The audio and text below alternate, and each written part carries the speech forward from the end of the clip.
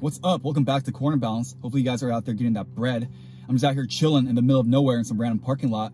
Uh, probably still to get a haircut, all that stuff. But anyway, as you guys own a car for a little bit, that's when you come to realize what its unique set of features and quirks are. And the Porsche 993 is no exception to that rule. This car actually has a lot of weird quirks. And in this video, I'm going to detail for you guys 15 of those quirks some of these quirks will be, I guess, backwards compatible because we all know these air-cooled Porsches, these 911s, they didn't really change all that much over the decades. But anyway, without further ado, without further delay, let's go ahead and get started with this list. Okay, my friends, for quirk number one, I would like to turn your attention to the side mirrors on the 993. Observe, this is the driver's side side mirror. Check out its positioning, I guess, relative to the fender and the door. And if I look at this squared and dead on, there's something kind of weird about the uh, passenger side side mirror over there. The 993 actually has completely asymmetrical side mirrors. So again, driver side, passenger side. It's behind the A-pillar versus the driver side, which is almost in front of the A-pillar. And if I come over here and I zoom out a little bit, look at that. That thing is really lopsided. Okay, for quirk number two, check out how close together the 993 front windshield wipers are. On most production cars, they're actually way more spread out and they follow each other. But on the 993, these wipers actually sweep in one motion as if they were one giant wiper. Because of how close they are in terms of their own proximity, you have to have this little rubber pad thing to divide them up and not cling together when they sweep. Quirk number three, the quintessential turbo twist wheels. These are of course directional. So on the left-hand side, the driver's side, it looks like they're spinning towards the front, or at least that's what their orientation looks like. But because Porsche didn't make a left-hand side and right-hand side specific version of these wheels, they're all the same on all four corners. That means on the passenger side of the car, they're going to be spinning backwards. So as you can see here, it looks like they're spinning towards the back versus the driver's side was spinning towards the front. Number four, the correct orientation, or as they say for the Porsche Crest center caps, is to have the pointy end of the crest be an arrow to where the valve stem is. This has roots in racing because when these cars come into the pits, uh, you want to be able to easily look at the center caps, know where the valve stem is, go do your thing.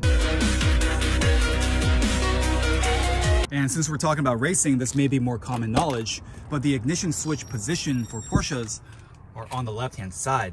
And I believe this is a Le Mans inspired thing because the drivers back then actually had to line up and do these running starts. So having the ignition switch on the left-hand side allowed them to have the key on their left hand while using the right hand in parallel to put the gear lever into first and get going faster. All right, so we're at quirk number six. So if you've never driven a 993 or an air-cooled 911 before, the very first thing you're going to notice is the floor-hinged pedals.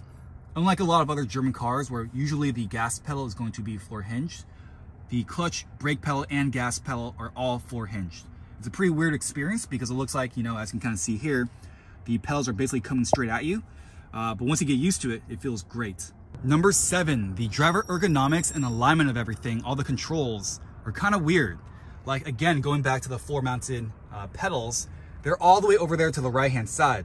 And if you look at the seat, this seat is not exactly in line with the center of the steering rack either. So the steering rack is actually shifted to the right as well, and the pedals are even more to the right. And although this sounds bad, when you're actually driving the car, it doesn't feel weird at all. It's not like you're super contorted or anything like that. It's just a little bit shifted.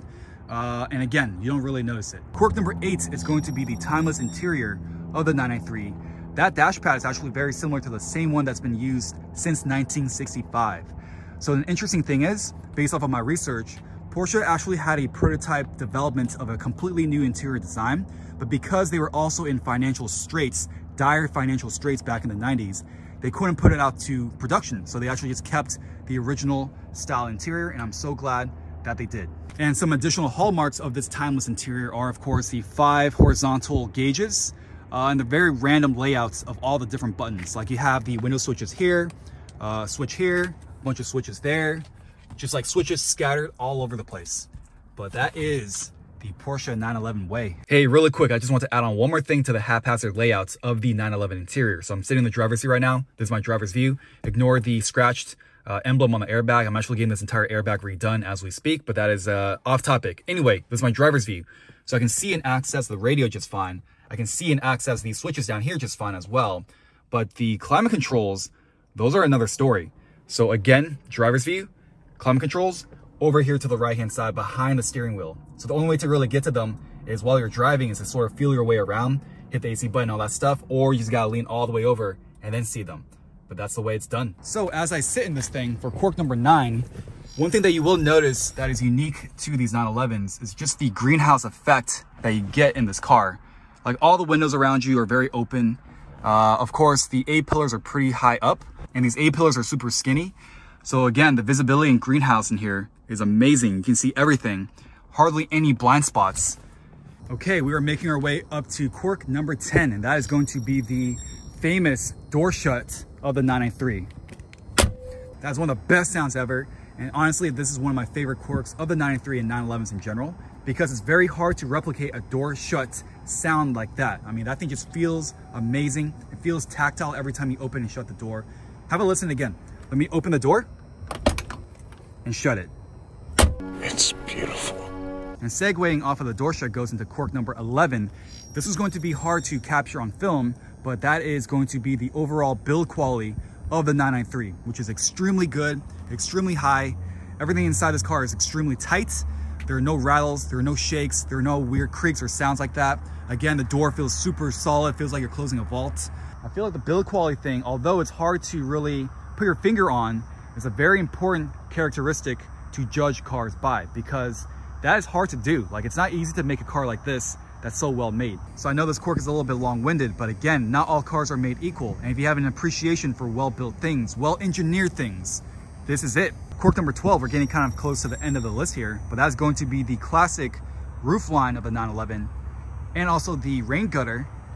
I mean, this car in particular for mine is a 1998 and this thing still has a rain gutter, just like a classic car, which is super cool. But again, for the roofline, this has been completely unchanged since 1974. Number 13 is going to be the active aero on this 993. Of course, the 993 wasn't the first car to do it, but nonetheless, it does have it. So on this deck lid here, this grill is actually a spoiler, and that will go up by itself once you hit about 50 miles an hour, and it'll go back down by itself once you slow down to around 7 miles an hour. I think that's pretty cool because it gives the car two different looks. You know, usually when you're cruising on the freeway, you'll have it up, um, and of course, when you're parked, you have the nice sloping back line of the 911 again. Cork number 14. Obviously, these cars are going to be air-cooled, but because they're air-cooled, they have to rely on their oil system much more than other cars to help keep them cool. And because of that, these are actually dry sumped cars. So the oil sump is going to be back here around this area. And also, there are two filters that you have to change when you do an oil change on the 993. There's a typical size oil filter that you have to change on the crankcase. And then there's a second oil filter, which is like way bigger that you have to change for the sump itself.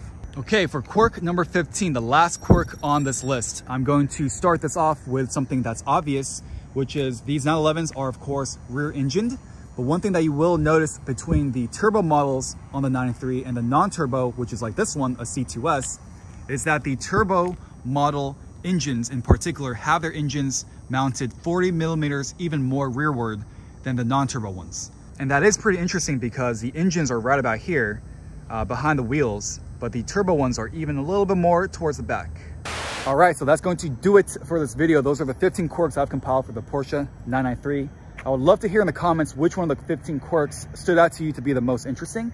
And also let me know if I've missed anything. So if you guys found this video interesting, even like somewhat, maybe maybe give it a like, you know, that'd be super sick. If you didn't like the video, I don't know what to tell you. Um, subscribe. If you didn't like the video, subscribe to the channel. You'll see more videos that you don't like. And I'll see you guys next time here on Corner Balanced. Peace out.